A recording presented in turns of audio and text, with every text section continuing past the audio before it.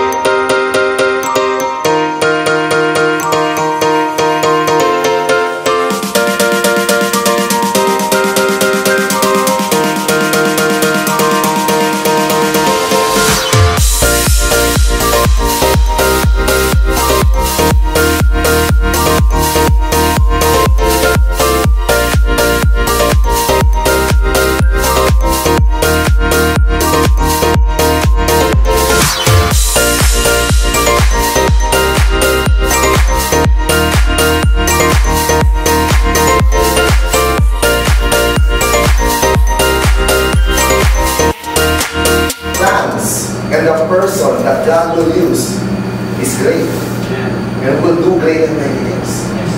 That's why we want to pour out that love. We believe that God is already scaling here in. Amen. Amen? Yep. Because the God of Tarlac City, the God of any place, any revival church is also the God of Calvary.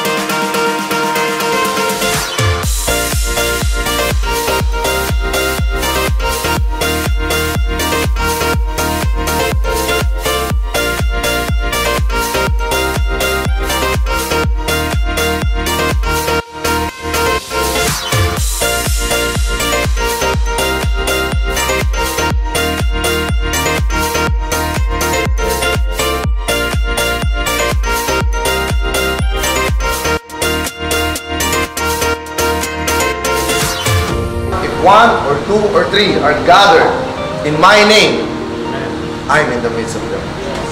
Kaya walang aksidente mga kapatid. Hatang tayo guys ha. Oh, parang na. Okay. Let's G. Come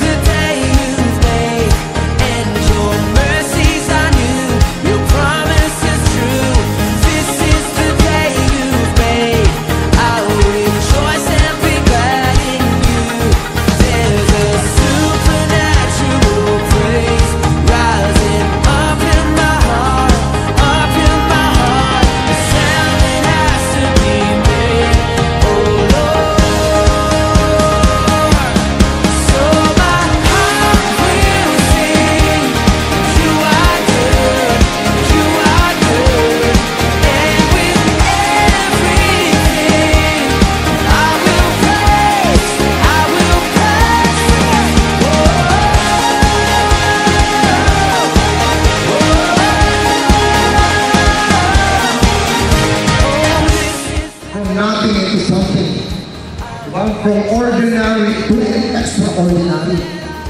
But you know, the, the enemy is successful in retaining the potential of Christian leaders. Amen?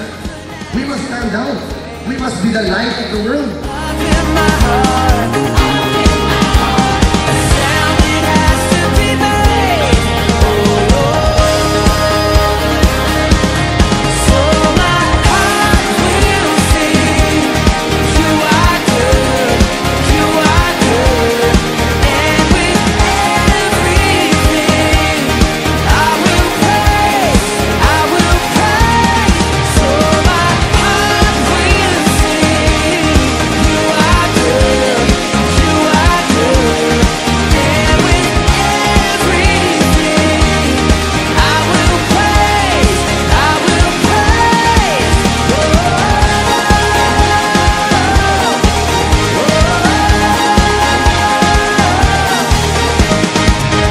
Ibig natin, patambi, basihan niya, truth.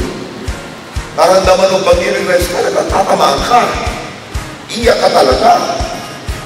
Yun, mapasok ang feelings. Mararamdaman mo ang presensya ni Lord.